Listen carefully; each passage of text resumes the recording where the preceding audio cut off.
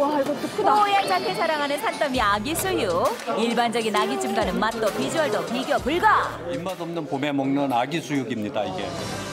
재료 본연의 맛을 살린 아기 수육은 살코기와 아기 내장, 꼬리와 지느러미까지 버리는 것이 없이 통째로 즐기는 것이 특징인데요. 먼저 없어서 못 먹을 정도로 귀하다는 아기 수육의 백미, 아기 간부터 맛봅니다. 처음 봐요. 보통 간하면 좀 뻑뻑한 맛이 있는데 어, 아기간은 부드럽고 맛있네요. 굉장히 고소하고 약간 계란찜 마냥 이렇게 녹는 느낌?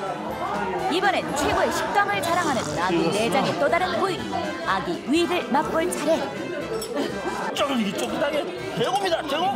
양념을 넣지 않고 그냥 담백하게 이렇게 나오면 이걸 좋아하는 사람들은 꼭 이걸 또 찾는 사람들이 많죠. 먹는 방법을 알려드릴게요.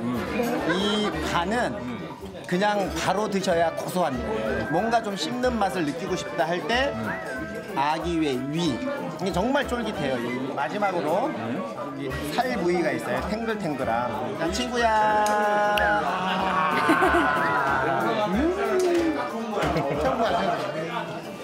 한 번 맛보면 누구라도 단골이 될 수밖에 없는 담백한 맛의 끝판왕.